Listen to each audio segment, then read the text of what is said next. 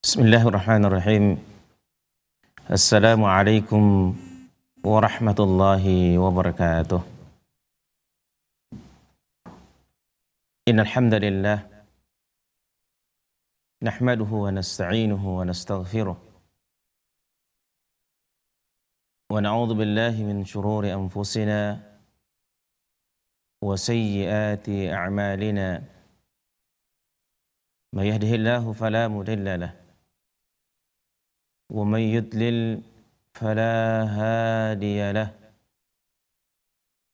وأشهد أن لا إله إلا الله وحده لا شريك له. وأشهد أن محمدا عبده ورسوله.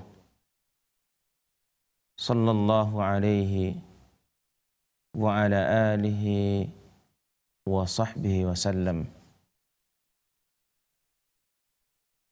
يا أيها الذين آمنوا اتقوا الله حق تقاته ولا تموتن إلا وأنتم مسلمون. يا أيها الناس اتقوا ربكم الذي خلقكم من نفس واحدة وخلق منها زوجها وبث منهما رجالا كثيرا ونساء.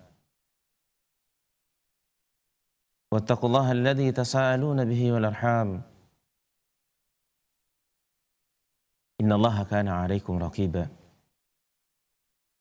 يا أيها الذين آمنوا اتقوا الله وقولوا قولا سديدا.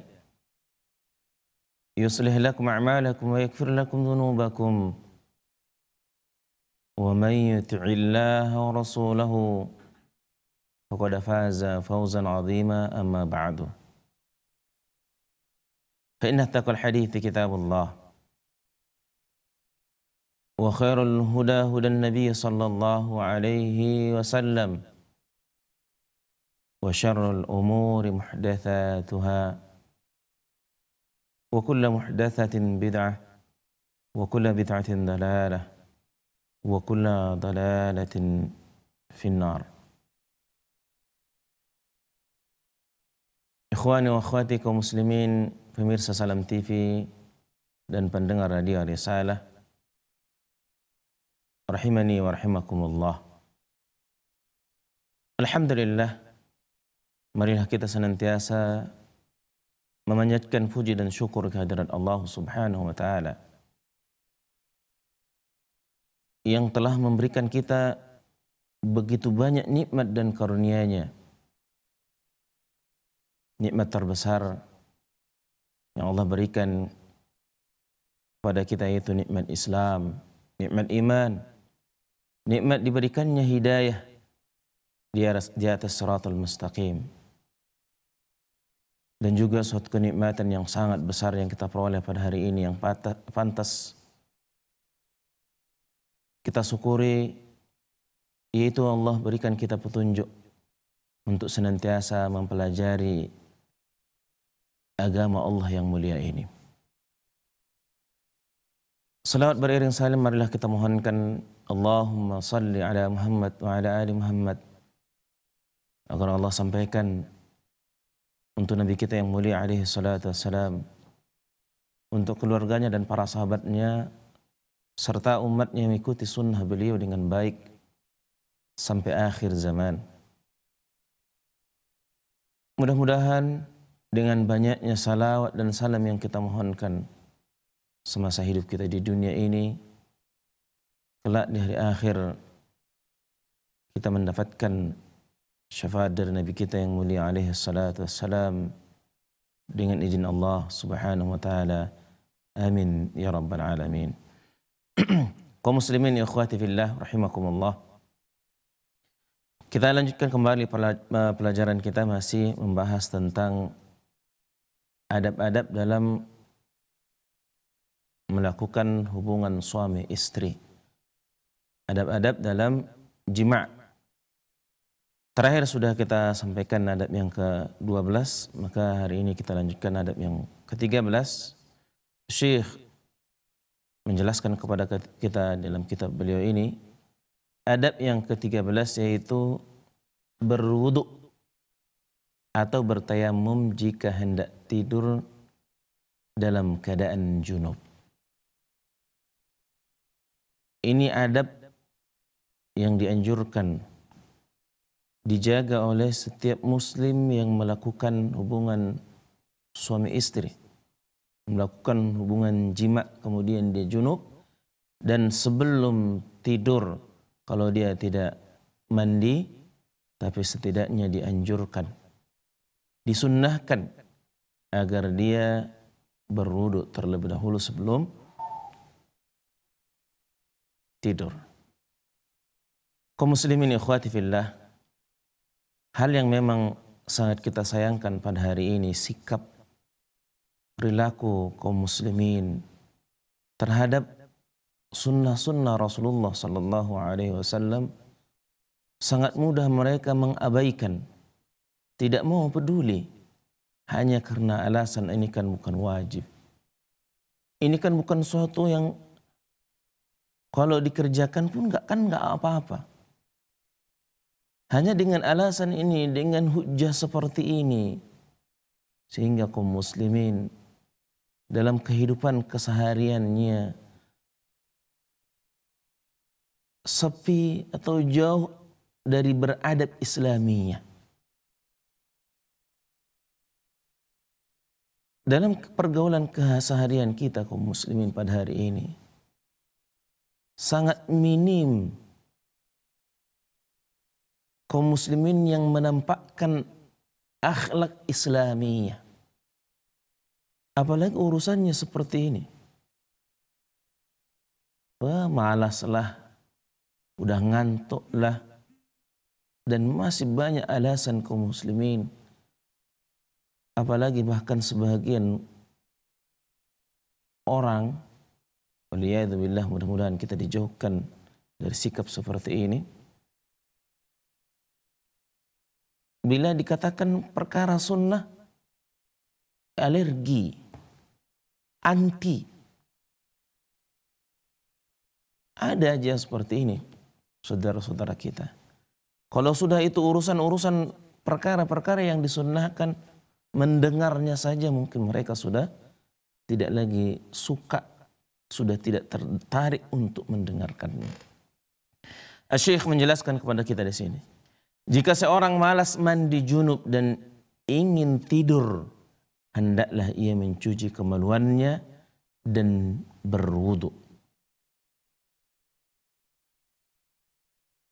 Ini berdasarkan contoh dari Nabi Shallallahu Alaihi Wasallam dalam hadis yang diriwayatkan oleh Imam Bukhari dan Muslim ikhwan yang mencontohkan ini, yang menyuruh ini, yang menganjurkan ini bukan ustadz. Bukan guru agama, bukan ulama, bukan syekh. Tapi Nabi kita yang mulia alaihi salatu wassalam. Bukan kita, bukankah kita mengaku, bukankah kita berikrar bahwa kita ini adalah umatnya, bahwa kita, kita ini adalah pengikutnya Nabi SAW. Bukankah kita berikrar bahwa Nabi Muhammad adalah uswah bagi kita? Contoh teladan yang baik bagi kita. Nabi kita alaihi salatu wassalam yang mencontohkan kepada kita umatnya dan menyuruh kita agar orang yang dalam keadaan junub kalaupun dia tidak mandi yang lebih afdal tentunya mandi. Tapi boleh, karena mandi itu boleh diundurkan sampai pagi hari. Bahkan saat kita berpuasa pun masih boleh kita dalam keadaan junub sekalipun sudah masuk waktu subuh. Baru kita mandi. Artinya kita sudah imsak tapi dalam keadaan junub boleh. Tapi setidak-tidaknya apa yang dicontohkan oleh Nabi kita alaihi salatu wassalam kepada kita umatnya. Bagi siapa yang dalam keadaan junub maka hendaklah dia berwudu terlebih dahulu sebelum tidur. Enggak berat kok. Enggak susah. Apalagi ikhwan wa akhwati fillah, khususnya di daerah-daerah tempat-tempat uh, perkotaan, mungkin di pelosok di daerah ada alasan mungkin sulit mendapatkan air. Harus keluar rumah. Nah, masih banyak beberapa daerah yang situasinya seperti ini. Ya, bisa juga sebenarnya kita akali. Kita siapkan karena nggak perlu banyak kali air untuk wudhu. Ini memang wudhu satu ember besar nggak cukup. Allah Untuk wudhu itu satu gayung cukup. Bahkan saat Nabi SAW berwudhu dengan satu mut. Satu mut segenggam seperti ini air. Cukup untuk wudhu Rasulullah. Kalau alasannya mungkin itu di pelosok, di daerah yang rumah mereka tidak memiliki kamar mandi. Ya mau nggak mau memang harus keluar kalau belum seperti itu. Tapi bisa kita siasati. Ya dengan kita sediakan air untuk wudhu Kemudian kita atau menggunakan air. Cukuplah apa yang ada di rumah air kita. Artinya itu hanya sebatas alasan, alasan saja untuk meninggalkan apa yang disunnahkan. Apa yang dicontohkan oleh Rasulullah SAW. Apalagi kalau kita di tempat yang memang di rumahnya ada kamar mandi. Berapa kilometer sih antara tempat tidur kita dengan kamar mandi kita. Berapa langkah saja udah sampai. Masa untuk menjaga sunnah yang seperti ini rasanya kita berat ikhwan. Tundukkan dong kita, tundukkan hati kita. Tundukkan diri ini kepada apa yang diajarkan, apa yang dicontohkan oleh Nabi kita Muhammad sallallahu alaihi wasallam. Dan ini sebagai bukti kecintaan kita kepada beliau. Bukti bahwa kita pengikut beliau. Bahwa bukti bahwa kita adalah orang yang menghidupkan sunnah-sunnah beliau alaihi salatu wassalam. Nabi SAW disebutkan dalam uh, riwayat Bukhari dan Muslim dari Aisyah bahwasanya apabila beliau ingin tidur dalam keadaan junub beliau mencuci kemaluannya dan berwuduk seperti wuduknya untuk salat. Wuduk, wuduknya seperti wuduk untuk salat. Adapun niatnya niat wuduk. Niat wuduk. Karena wudhu itu tidak hanya ya dipergunakan untuk salat saja. Wudhu disyariatkan bukan hanya karena untuk salat.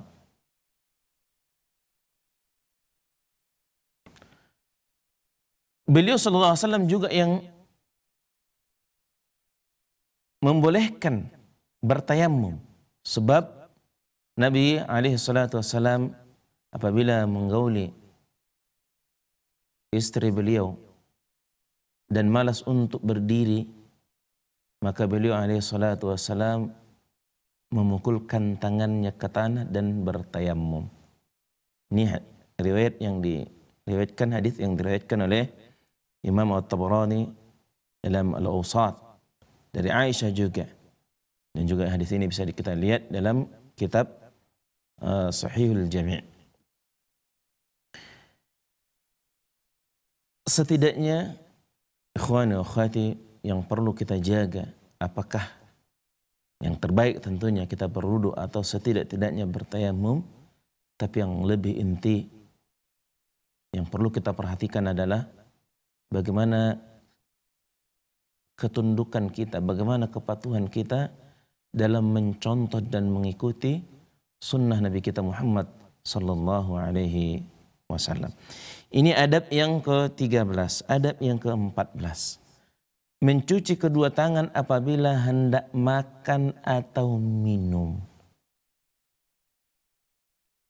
Bukan hanya satu, kalau satu ya jelas. Ya seorang mau makan, apalagi makan dengan tangan tentunya cuci tangan. Tapi niat dari cuci tangan kita itu bukan karena untuk makannya saja. Tapi yang perlu kita perhatikan bahwa kita lakukan itu karena mengikuti anjuran, mengikuti contoh, mengikuti sunnah Rasulullah SAW.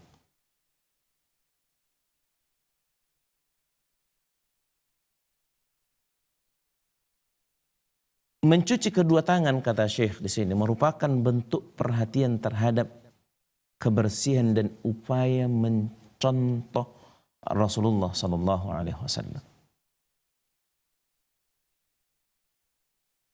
Nah, ketika kita melakukan jima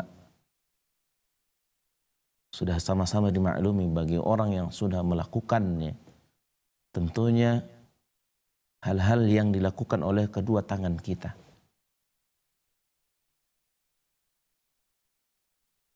Jadi ya meraba, mencumbu dan lain sebagainya yang kita lakukan terhadap pasangan, terhadap istri kita.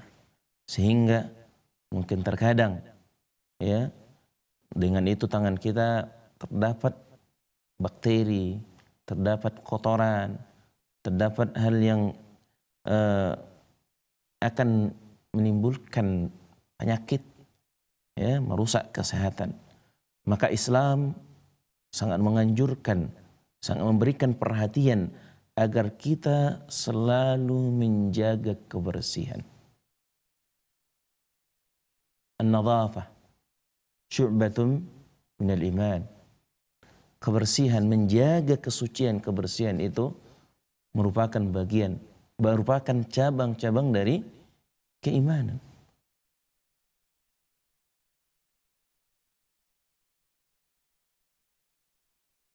Begitu juga ketika kita hendak makan, kita mencuci tangan, kedua tangan, ya, dan yang dimaksud ikhwan wa fillah, kalau disebutkan secara mutlak dalam uh, agama kita tangan, maka yang dimaksud adalah dari ini, pergerangan tangan ke ujung.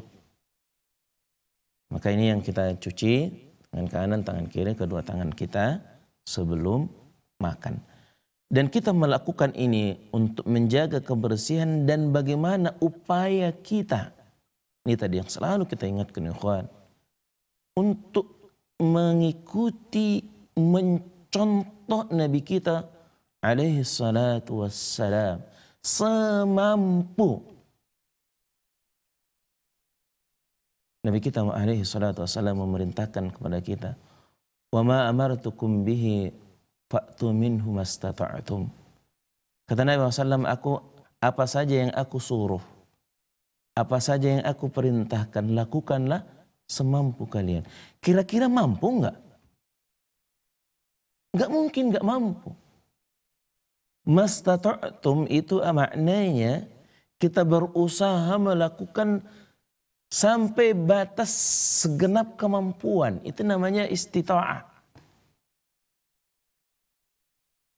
Berudu sebelum tidur, cuci tangan sebelum makan atau minum. Hal yang tidak mungkin kita nggak mampu, ikhwan. Bahkan bisa kita katakan ini bukan alasan hanya karena ketidak atau kemauan kita yang begitu minim, yang kecil untuk berupaya mencontoh Nabi SAW. Kalau tidak, bagaimana mungkin kita tidak mampu? Padahal Nabi kita Muhammad SAW memerintahkan kita apa saja yang beliau contohkan, apa saja yang beliau perintahkan agar kita melakukan upaya yang kita berikan apa? Mastata'tum kata Nabi SAW berikan dulu segenap kemampuan sampai puncaknya batas kemampuan kita. Hal yang tidak mungkin rasanya ikhwan. Kalau hal seperti ini kita tidak tidak mampu melakukan hal yang tidak mungkin.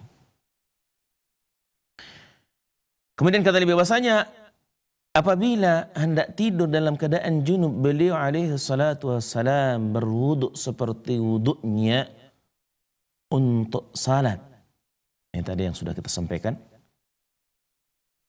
Dan apabila beliau hendak makan atau minum dalam keadaan junub, beliau juga mencuci kedua tangannya lalu makan dan minum. Ini berdasarkan hadis yang diriwayatkan hadis ini, ya, penjelasan ini berdasarkan riwayat Imam Abu Dawud, Imam Ahmad bin Hambal dalam uh, musnadnya, juga Imam An-Nasai, Ibnu Majah dan yang lainnya, ya, dari hadis Aisyah Ummul Mukminin radhiyallahu anhu radhiyallahu anha.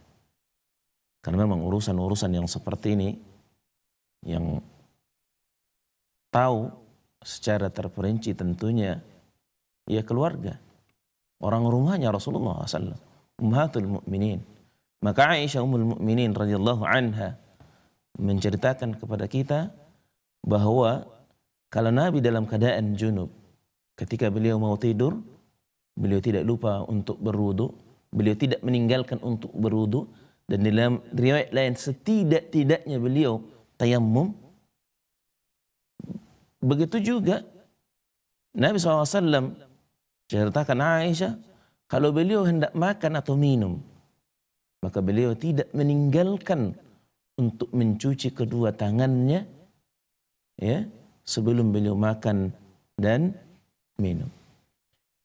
Tidak diragukan lagi hal ini merupakan bentuk perhatian Islam terhadap masalah kebersihan dan menjauhkan segala perkara yang dapat membahayakan jiwa.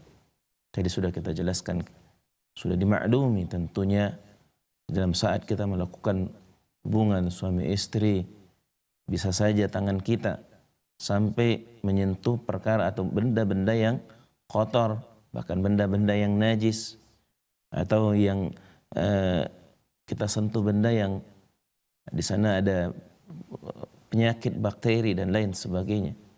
Sehingga Islam betul-betul memberikan perhatian ya urusan kebersihan dan juga urusan kemaslahatan kesehatan yang harus dijaga dan perlu kita ketahui ikhwan wa akhwati fillah bahwa kesehatan yang Allah berikan kepada kita adalah suatu kenikmatan yang besar kenikmatan yang sangat besar yang wajib kita memeliharanya.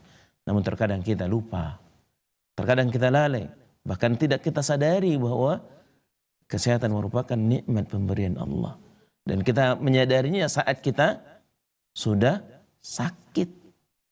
Saat nikmat itu hilang kepada dari kita baru kita menyadari akan betapa besarnya, betapa besarnya nikmat sehat tersebut.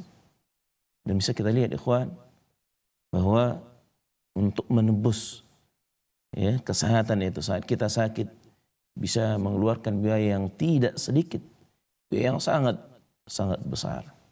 Maka sebelum terjadi hal yang membahayakan kepada diri kita, Islam memberikan perhatian agar kita menjaga segala perkara yang dapat membahayakan jiwa kita. Adab yang ke-15 Tidak berjimat dalam keadaan kenyang atau lapar. Kata beliau berjimat ketika sangat kenyang dan sangat lapar amat berbahaya bagi seorang. Bahkan kadang bisa menyebabkan kebinasaan jika ia terbiasa melakukannya. Oleh karena itu kata beliau, tidak selayaknya seorang berjima ketika baru saja makan. Demikian juga ketika perut dalam keadaan sangat kenyang atau sangat lapar. Demikian yang disebutkan oleh seluruh ahli kesehatan. Khuan, memang Islam tidak menyebutkan secara detail seperti ini. Namun Islam selalu memerintahkan kepada kita terhadap sesuatu yang kita tidak tahu tentang ilmunya agar bertanya. Agar bertanya kepada pakarnya. Dalam Al-Quran Allah subhanahu wa ta'ala memerintahkan kepada kita, Fas'alu ahla dzikri in kuntum la ta'lamun. Tanyakan ahlinya, bertanyalah kalian kepada ahlinya, ahlinya. Pada ahli ilmu. In kuntum la ta'lamun. Jika kamu tidak mengetahui. oleh ahli medis, ahli kesehatan menjelaskan kepada kita bahwa saat dalam keadaan kenyang baru selesai makan atau sangat dalam keadaan sangat lapar tidak dianjurkan dan bahkan mereka menjelaskan kepada kita ini akan dapat membahayakan jiwa, membahayakan kesehatan karena ketidakstabilan tubuh kita dalam keadaan seperti itu. Maka apa saja yang oleh fakar, oleh ahlinya menyebutkan hal yang tidak baik, yang harus kita jindari, kita jauhi, maka ini Islam ya tentunya memperhatikan kata beliau di sini setiap perkara yang mendatangkan maslahat bagi setiap muslim dan mencegah segala perkara yang memudaratkan agama maupun dunia mereka. Perkara kesehatan secara zahirnya akan atau merugikan, merusak urusan dunia kita. Namun kalau kita perhatikan, ikhwan, ketika saat kita sehat, sakit, tentunya banyak yang luput ya ibadah dari kita. Ini harus kita sadari. Bahkan mungkin bisa kita katakan, katakan saat kita diperintahkan untuk menjaga, memelihara kesehatan nikmat yang besar ini yang Allah anugerahkan kepada kita. Haruslah kita sadari saat kita menjaga kesehatan kita di dalamnya agar kita bebas, agar kita mampu semaksimal mungkin untuk melakukan ketaatan, untuk melakukan ibadah kepada Allah Subhanahu wa taala. Inilah yang diperhatikan oleh Islam.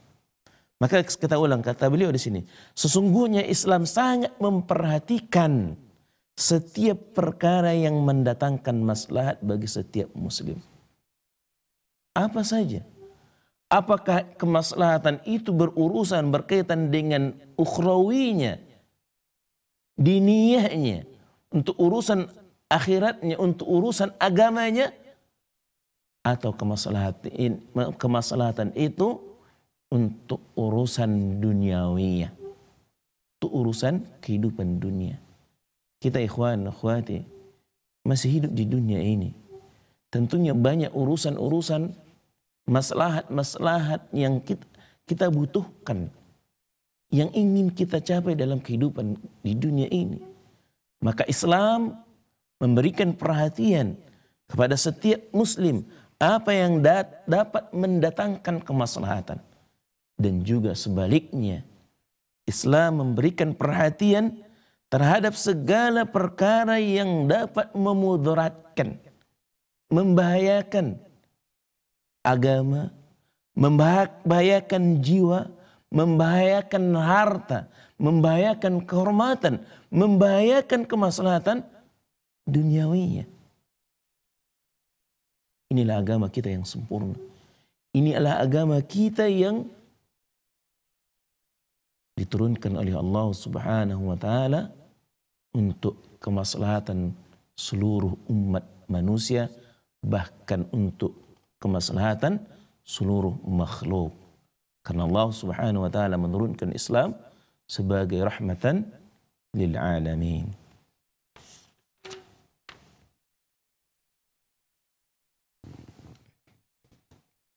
Adab yang ke-16.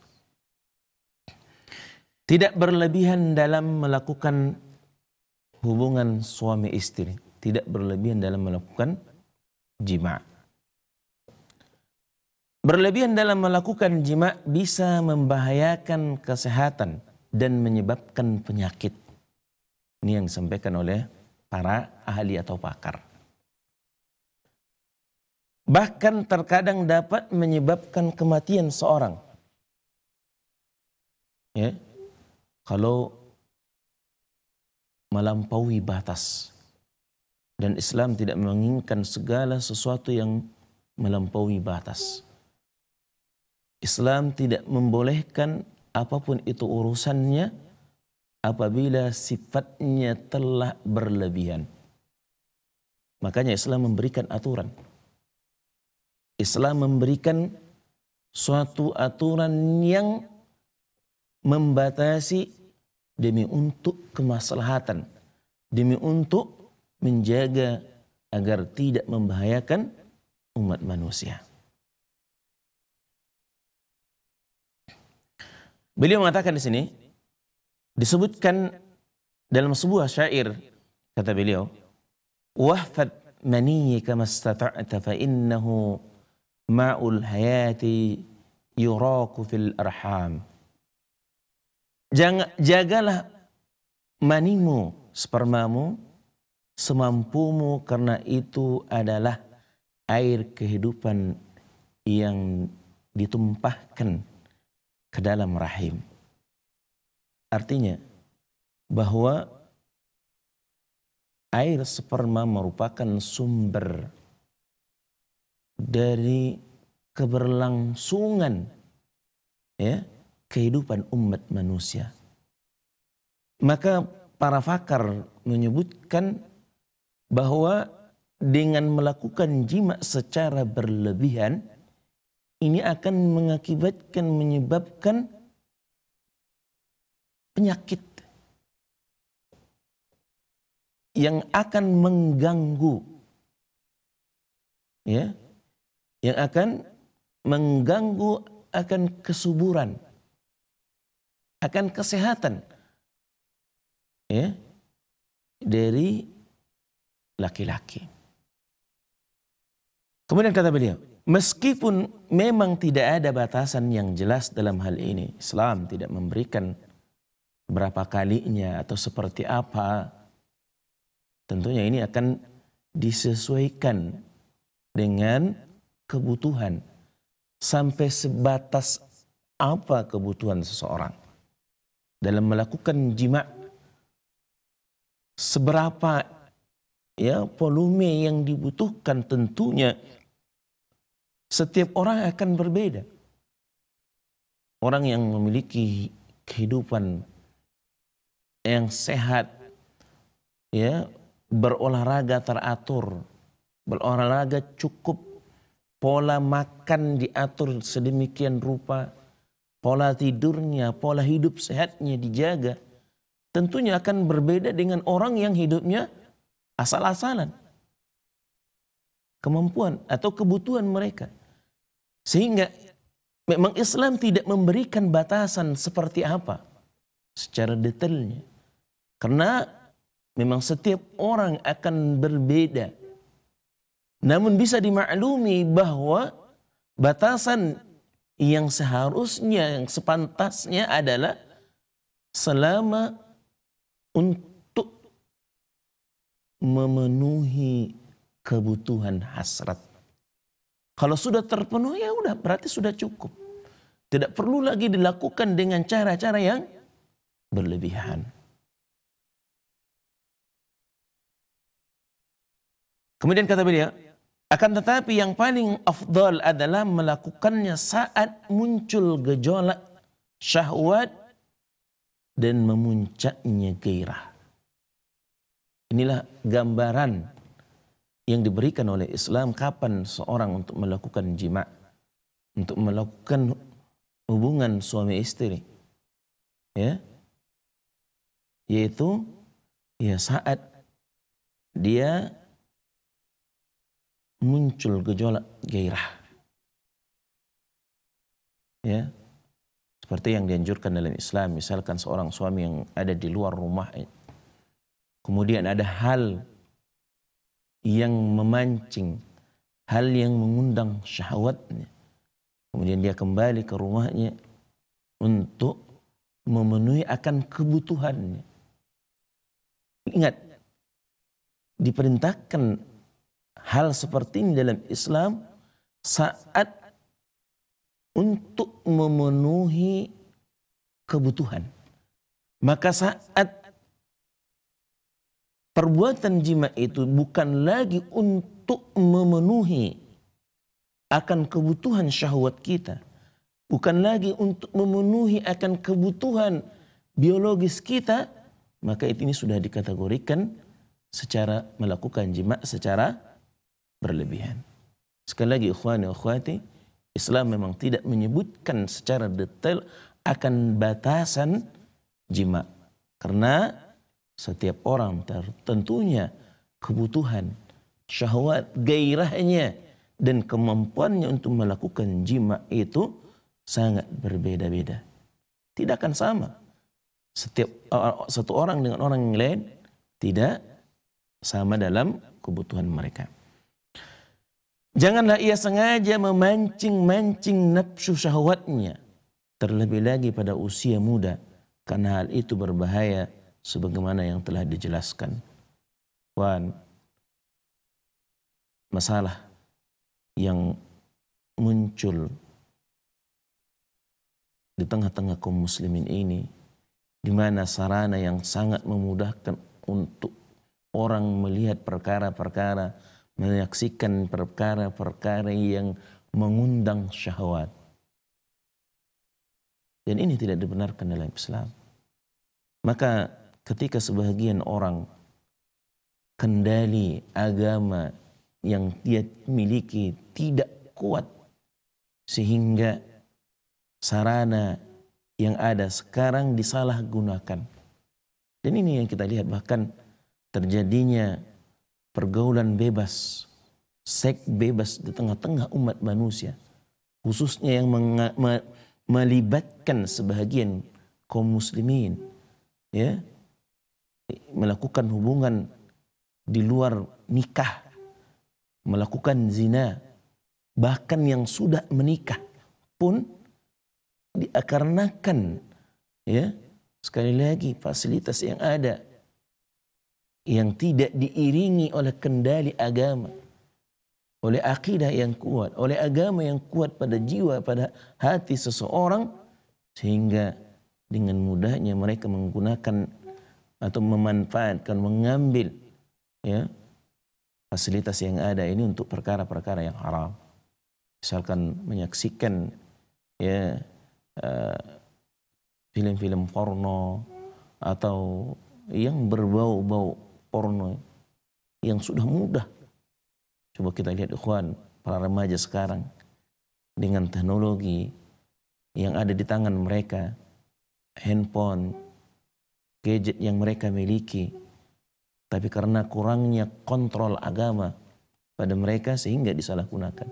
Begitu juga pasangan suami istri yang melakukan jima mungkin terkadang karena mereka ya, terjerumus untuk menyaksikan perkara-perkara yang haram seperti ini. Sehingga mereka dalam melakukan jima melakukan hubungan suami istri itu dengan tensi yang berlebihan. Mereka ingin mencoba yang apa yang mereka lihat apa yang mereka saksikan. Padahal kesemuanya itu sudah bukan hanya sebatas memenuhi kebutuhan syahwat, memenuhi kebutuhan biologisnya lagi. Adab yang ke-17 dan yang terakhir dalam bab ini, dalam bab adab-adab melakukan jima atau melakukan hubungan suami istri, yaitu tidak menceritakan rahasia hubungan suami istri kepada orang lain, kepada siapa pun. Syekh menjelaskan kepada kita. Sebagian orang baik laki-laki maupun perempuan suka berbicara atau membicarakan rahasia hubungan suami istri.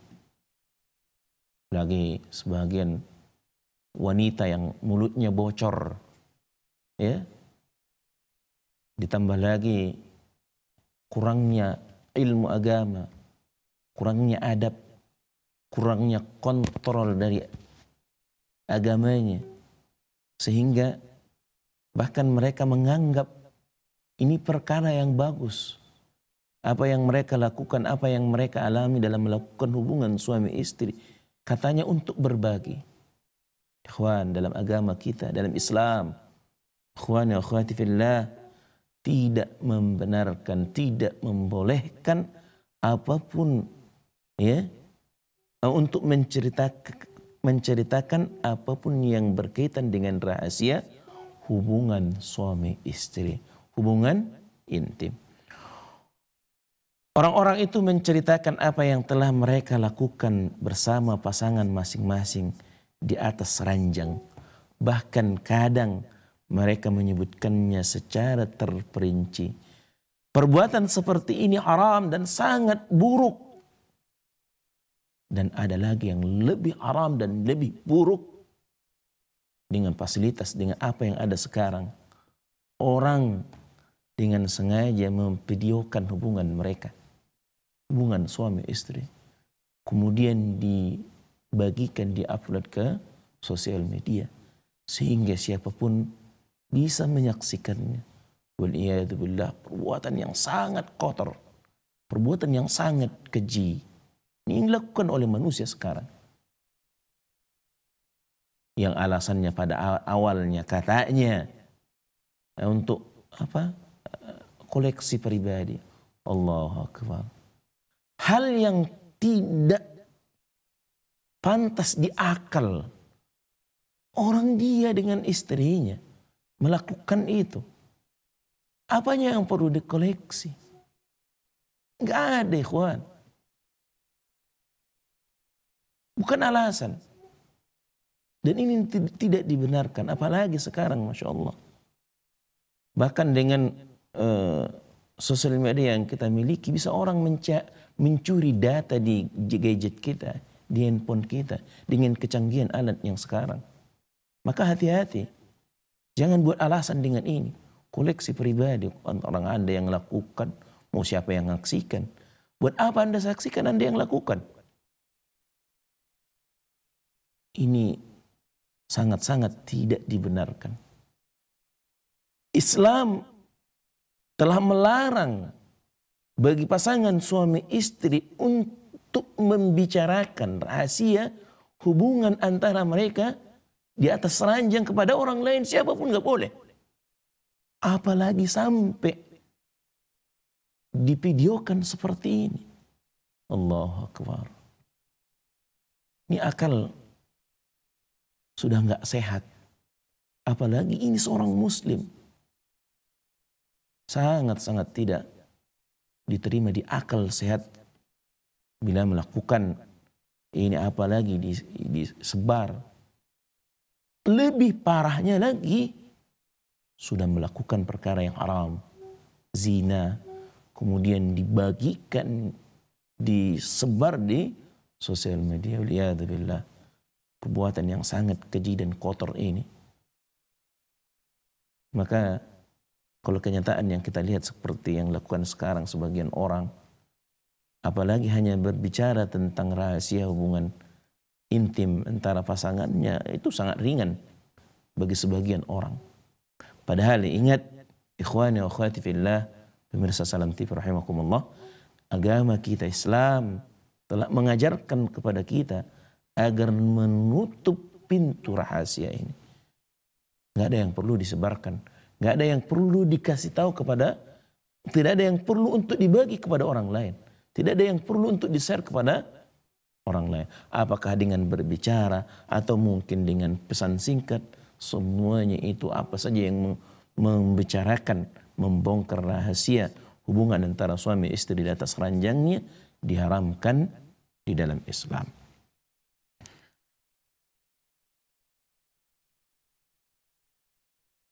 Rasulullah SAW, Nabi kita yang mulia alaihi salatu wassalam, memperingatkan hal ini dengan peringatan yang sangat keras. Dalam hadis Nabi SAW mengatakan beliau bersabda inna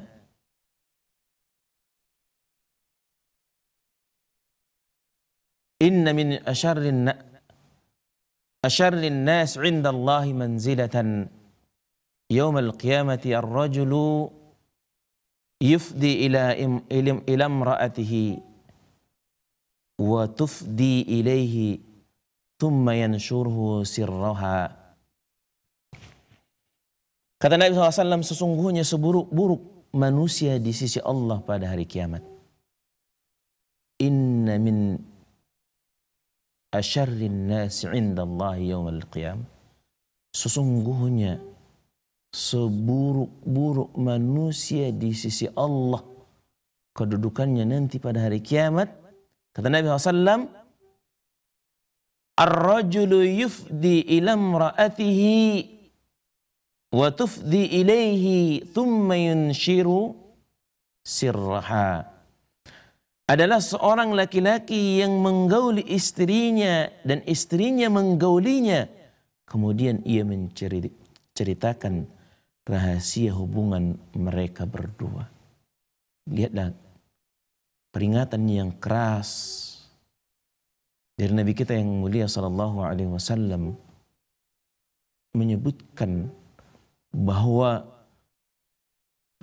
orang yang paling buruk di sisi Allah nanti pada hari kiamat seseorang yang melakukan hubungan suami istri Kemudian rahasia ini dia beberkan, dia ceritakan, dia ungkapkan kepada orang lain. Dia sebutkan rahasianya kepada orang lain. Dia ceritakan apa yang mereka lakukan, seperti apa yang mereka lakukan, apa yang mereka rasakan dalam hubungan suami istri. Dan ini tidak dibenarkan di dalam Islam. Bahkan Nabi kita Muhammad SAW menyebutkannya perkara ini menjadi seburuk-buruk manusia. Ikhwani akhwati, bagi seorang muslim cukup ya satu hadis ini ya riwayat ini sudah cukup bagi kita untuk menjauhkan diri menceritakan rahasia ranjang kita kepada orang lain. Ikhwani Ikhwani wa akhwati fillah. Dengan kita selesaikan bab ini, uh, adab ini, adab yang ke-17 ini berarti kita telah menyelesaikan adab-adab yang mesti dijaga oleh setiap muslim dalam melakukan hubungan suami istri. Syekh menjelaskan kepada kita sini sampai dari awal sampai akhir yang sudah kita sampaikan pada beberapa pertemuan uh, sampai 17 adab yang mesti kita perhatikan ya ikhwani wa akhwati fillah. Jangan kita menyepelekan. Artinya berusahalah kita semaksimal semampu kita untuk senantiasa menjaga adab yang telah diajarkan, yang telah dijelaskan oleh Nabi kita Muhammad SAW kepada kita umatnya untuk kita jalankan, untuk kita lakukan. Ilmu yang kita pelajari tidak akan memberikan manfaat tidak memberikan dampak yang baik bagi kita selama ilmu yang kita miliki itu tidak kita amalkan. Kita diperintahkan, kita diwajibkan bahkan oleh agama kita untuk belajar agama ini kesemuanya itu untuk kita amalkan bukan untuk sekedar tahu oh ini hukumnya begini oh ini mestinya lakukan gini tapi tidak ada pengamalannya tidak ada pelaksanaannya. Ini tidak ada manfaat dari ilmu yang kita pelajari. Dan kita diajarkan oleh Nabi SAW ya, agar kita selalu memohon kepada Allah bahwa kita dianugerahi oleh Allah Subhanahu wa taala ilmu yang bermanfaat. Maka ilmu ilmu itu akan bermanfaat apabila ilmu yang sudah kita ketahui, ilmu yang sudah kita pelajari, kita amalkan.